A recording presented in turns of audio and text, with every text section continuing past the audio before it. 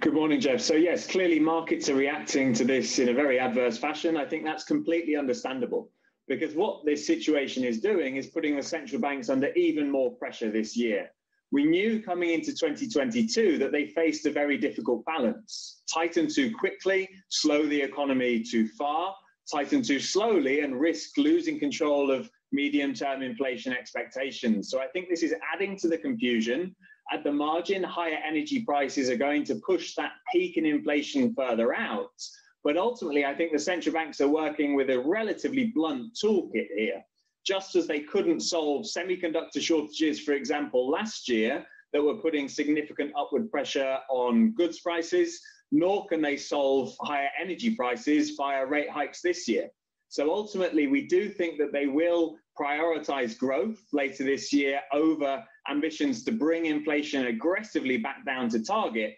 But for our clients, this means really an environment of reducing tracking error. I think this situation remains extremely uncertain, and history suggests geopolitical events generally cause short lived market sell offs. But until we know more until we have more clarity really on the next steps here, I think this is an environment to go back to benchmark weight and wait to assess the implications for the oil price and the implications for the consumer.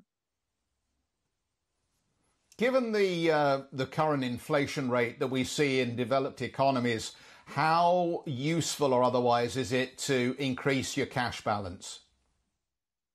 Yeah, I mean, clearly cash balances are being eroded every day. I mean, you have inflation running above 7.5% in the US. That is a de- very difficult environment to be holding cash.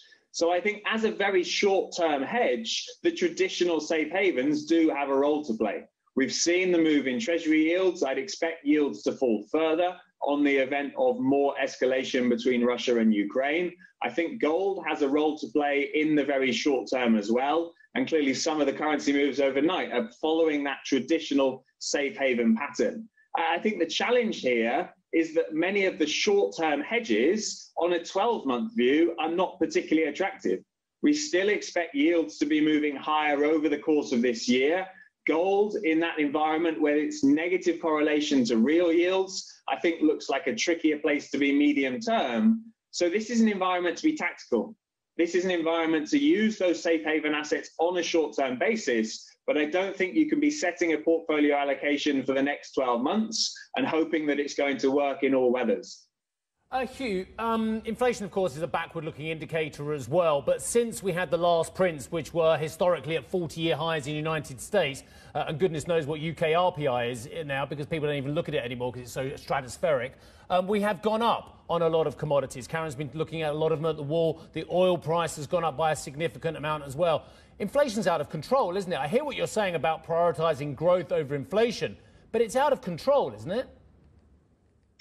Well, I think there are good reasons for the central banks to be normalizing policy. I, I, think they'll be looking at the signs from the labor market in particular and seeing strong wage growth, tight labor markets, record numbers of job vacancies, and saying that now is the right time to be normalizing policy.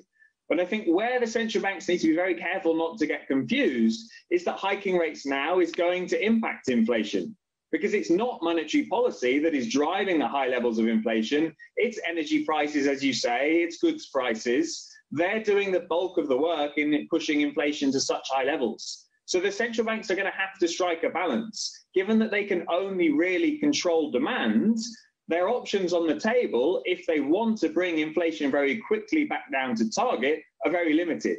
They have to shrink demand, they have to slow the jobs market aggressively, and bear in mind, they're working with this dual mandate, particularly the Fed. They're looking at full employment. To choose to bring inflation straight back down to 2% would involve a significant tightening in the labour market, which ultimately I don't think will be something that they're looking to pursue this year.